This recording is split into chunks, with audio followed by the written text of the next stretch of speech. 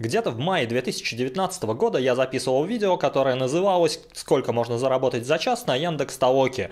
С этого момента прошел почти что год, и мне кажется, настало время повторить эксперимент. Я периодически заходил на Яндекс Толоку, смотрел, что там меняется какой-то дизайн, появляются новые необычные задания, что-то уходит, что-то приходит. В общем, мне кажется, сайт как-то развивался. Но он же нам интересен с точки зрения заработка. То есть я как человек, который хочет заработать, захожу на сайт и выполняю выполняю эти задания. И меня если там хоть миллион раз этот дизайн, там какие-то фильтры появляются, еще что-то появляется, мне это не особо важно. Гораздо важнее сравнить, сколько она приносила тогда денег и сколько сейчас приносит денег.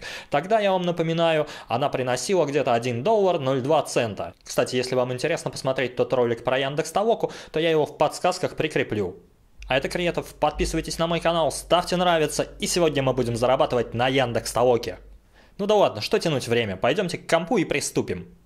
Ну, на первый взгляд здесь ничего не изменилось, то есть также сбоку вот это вот меню, где выбираем задание. Ну, давайте оставим сейчас недоступные, посмотрим, почему они недоступны нам. Так, ну вот, здесь написано, что рейтинг нужен не ниже 100. У меня, видимо, ниже рейтинг, чем 100.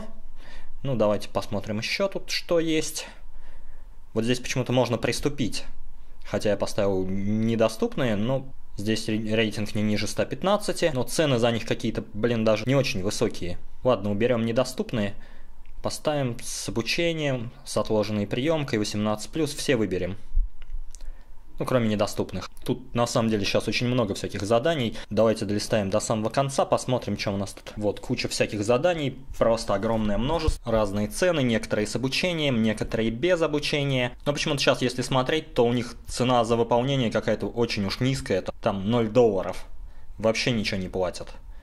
Непонятно почему так и кто их выполняет. Может быть для рейтинга просто выполняют, конечно, чтобы приступить к более дорогим заданиям.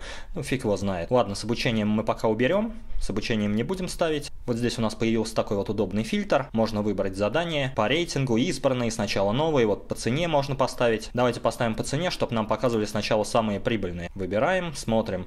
Так, ну почему-то вот у нас 0,01 доллар. Странно. Видимо, придется в этих заданиях все-таки обучение пройти. Ладно, давайте поставим с обучением. Вот, у нас появилось 0,06 доллара. Не так много. Давайте посмотрим, что за задание здесь. Потому что, видимо, ничего более прибыльного у нас тут нет. Аннотация аудиозаписи по новой схеме. Ну, из инструкции, в принципе, все понятно. Тут надо будет расшифровывать аудиозаписи. То есть речь, которую люди говорят Алисе. Там, не знаю, Алиса, скажи, какая сегодня погода. Надо будет записывать это в текстовой форме, а потом во вторую строчку переносить. Типа вот это был запрос, а это был лишний мусор, не относящийся к запросу.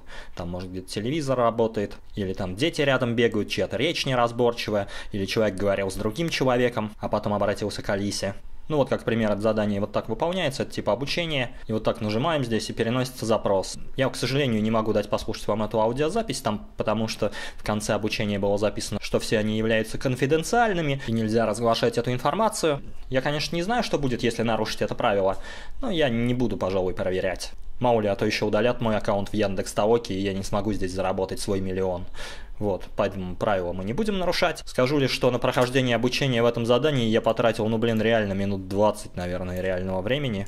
Это при том, что мы хотим выяснить, сколько же можно заработать на Яндекс Толоке за час, то есть большую часть времени здесь сжирает просто обучение. Так вот, когда я это обучение прошел, когда выполнил это задание один раз уже за деньги, то можно было выполнить его всего один раз. То есть я 20 минут проходил обучение, потом минут 7 я выполнял это задание уже, и все, его больше нигде нет, и я не могу его опять выполнить. Пришлось брать следующее задание, которое, как оказалось, тоже с обучением, но ничего удивительного.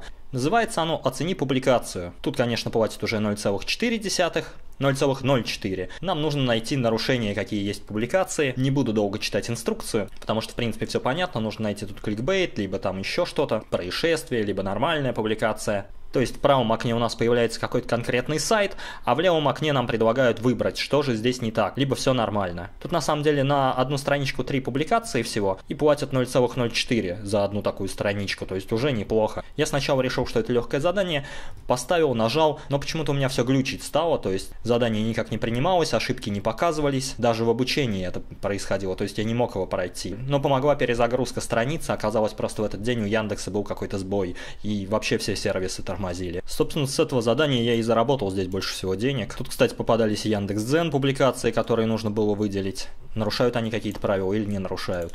Если честно, задание оказалось довольно легким, я не знаю, может я где-то и ошибался в нем, но сами посудите. Поставить быстро галочки на каких-то трех статьях это очень просто. Если бы это задание никогда не кончалось, я бы, наверное, даже Яндекс.Дзен забросил бы и только здесь и занимался этим. Щелкаешь, щелкаешь и деньги капают. Но, к сожалению, это задание закончилось. У меня на счету оказалось 0,32 доллара.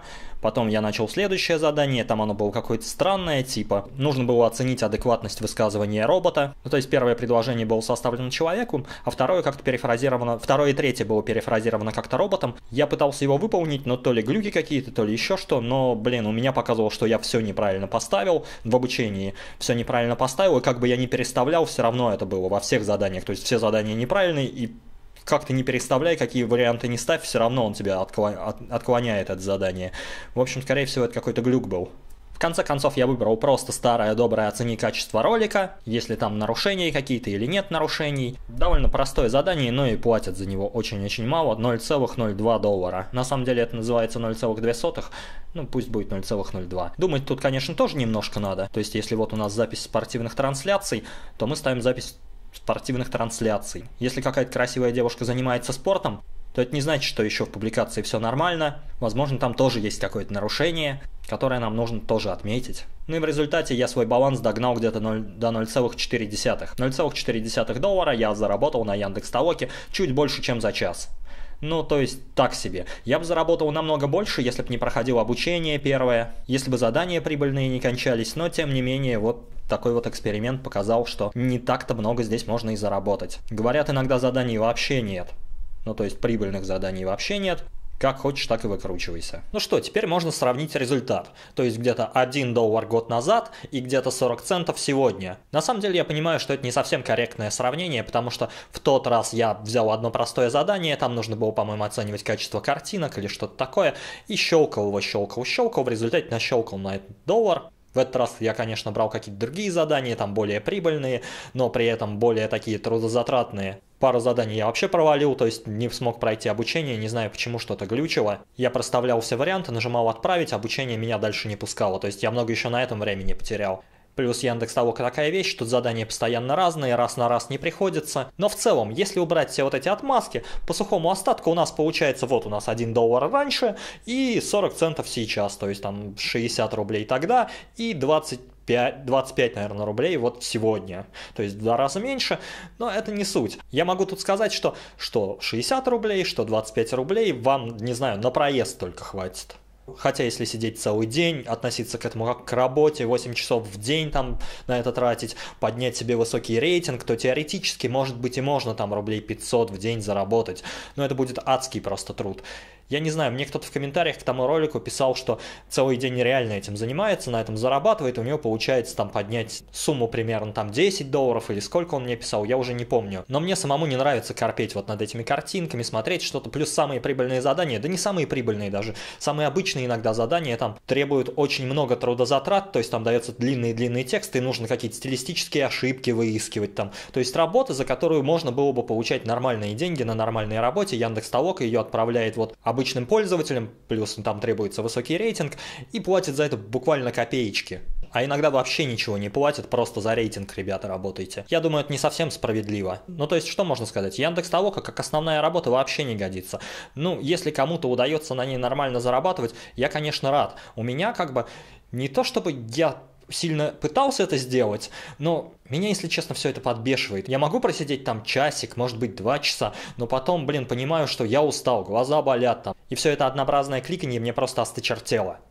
Плюс у меня доход с Толоки маленький, может, у кого-то больше. Если больше, ну, пожалуйста, зарабатывайте там. Я лучше дальше пойду статьи писать. В целом, я думаю, со временем стоит провести такой эксперимент не только с Яндекс Толокой.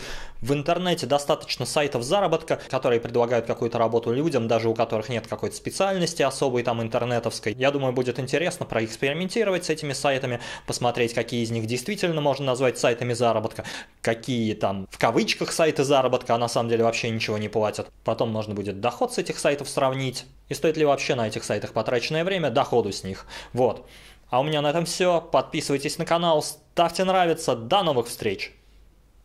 Фу, вроде все сказал. Так, что у нас? Выключаем. Э, камера, камера, камеру тоже выключаем. Пока-пока.